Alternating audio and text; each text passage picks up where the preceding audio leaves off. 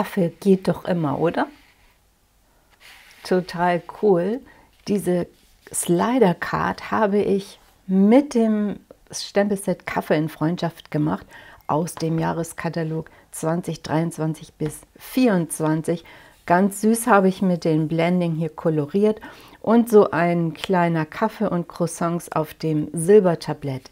Innen habe ich das Sommerbeere verwendet und die coolen Sprüche aus dem Stempelset. Ja, und der Hintergrund ist gearbeitet hier mit den Prägeformen, 3D Prägeform Basics. Die findest du in keinem Katalog, sondern nur in meinem Online-Shop.